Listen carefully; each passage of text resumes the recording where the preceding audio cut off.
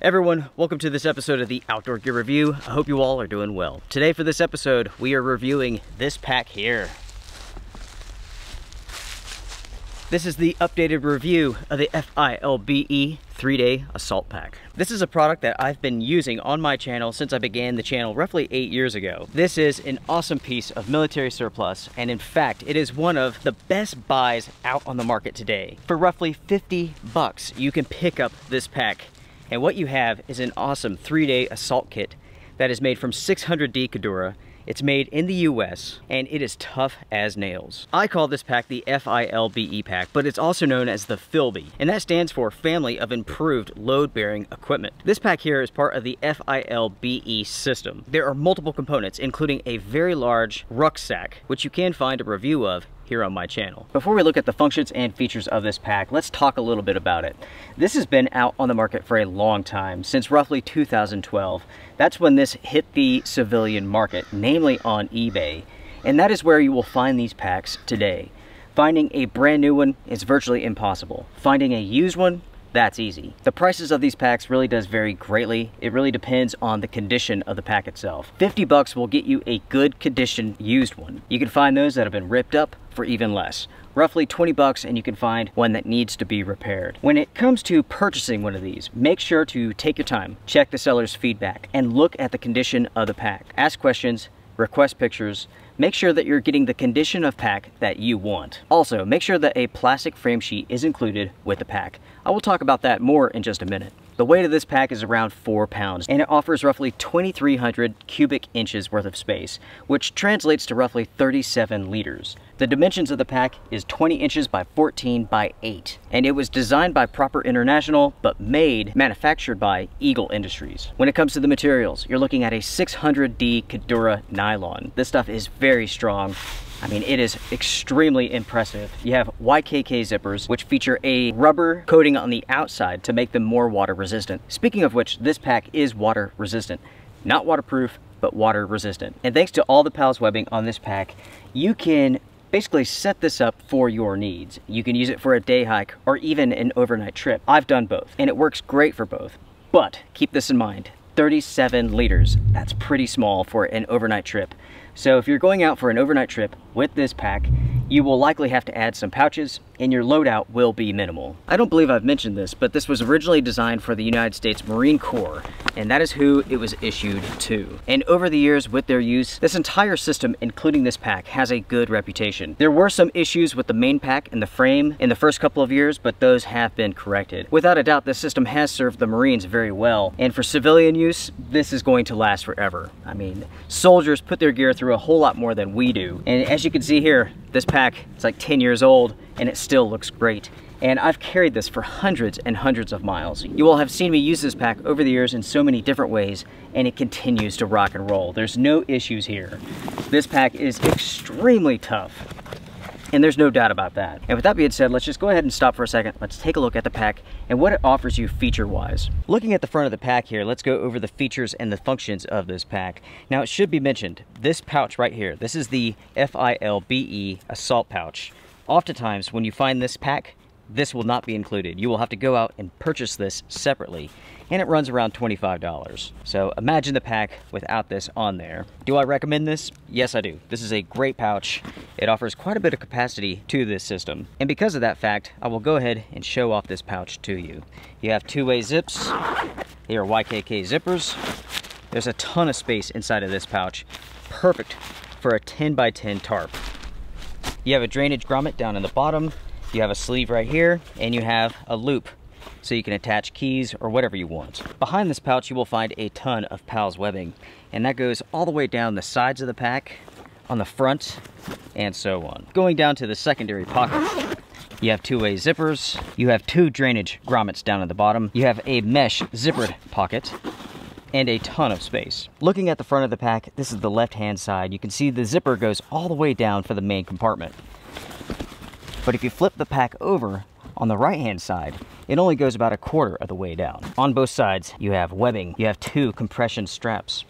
And up here at the top, you have a Velcro port cover for hydration tubes, antennas, and so on. The other side of the pack is virtually the same, except for the zipper. As you can see here, you have more webbing. Now, it should be mentioned, you can attach equally sized pouches on both sides of this pack. So if you want to put a sustainment pouch on this side and on this side, you certainly can. Now, folks, let's take a look here at the main pocket of this pack. I will go ahead, disconnect the top compression straps. You have two-way zippers.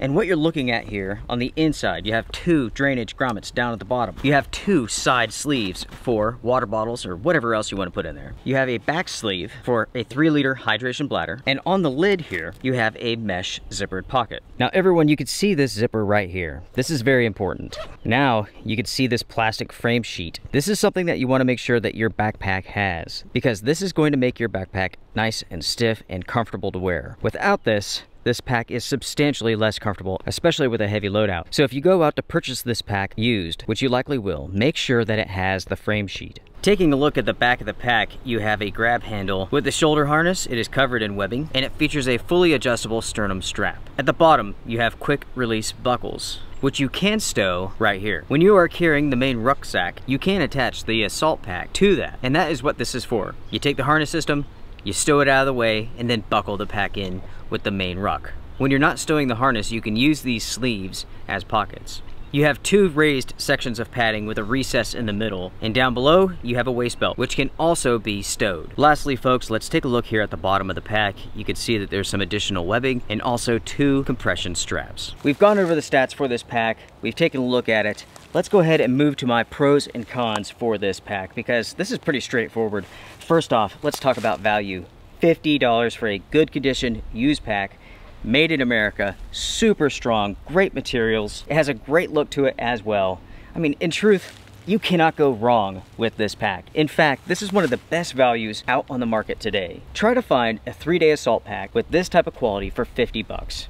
You can't do it. Take a look at Mystery Ranch, Kifaru, $400, that's what it would take to get something similar to this. You can use this pack in so many different ways. It's highly versatile. You can attach all sorts of pouches and whatnot to this, and you really can make it your own system. For an example, sustainment pouches work great with this pack. You can put one on each side, another pouch right here. You can attach items on top and also on the bottom. The options here really are limitless. The value is here, there's no doubt about that. So let's talk about comfort. All in all, this is a comfortable pack. You do have to keep this in mind, folks. This is a military surplus product, and that means it was designed for utility first, comfort second. With that being said, this is a comfortable pack. Is it the most comfortable backpack you've ever worn? No. Is a civilian backpack going to be more comfortable? Yes. Is a civilian pack going to look as cool as this? Well, that's up to you. I say no. For what it is, it is comfortable. You can easily load this up with 30 pounds of gear.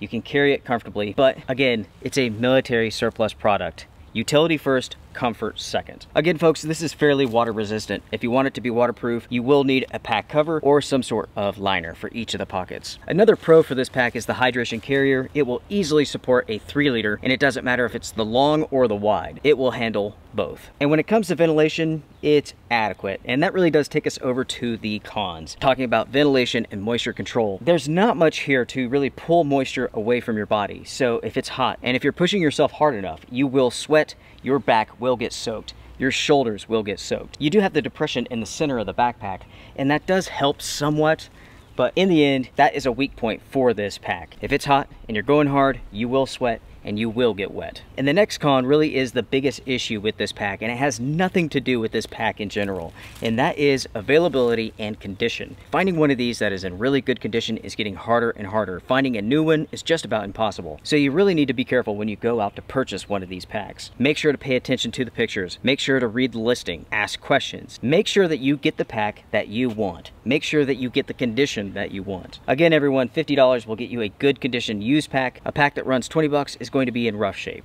To summarize my thoughts for this pack, I tell you what, this pack is a no-brainer. It is such a good pack. The value is here. It's comfortable enough. It looks awesome. And in truth, this is still my go-to pack. I believe I said that in my review many, many years ago. Back then, this was my go-to pack, and that continues to this day.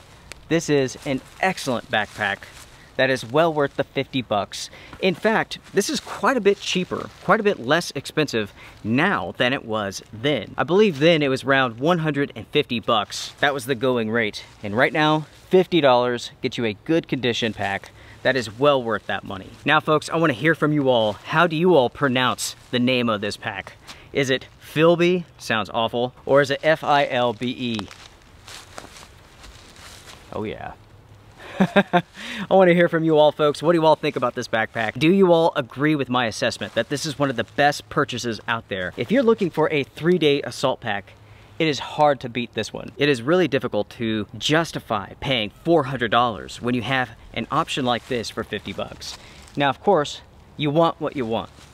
I understand that completely. Hit the thumbs up because it does help the channel, support on YouTube and Patreon, and I will see you all next time. Strength and honor, folks. See you soon.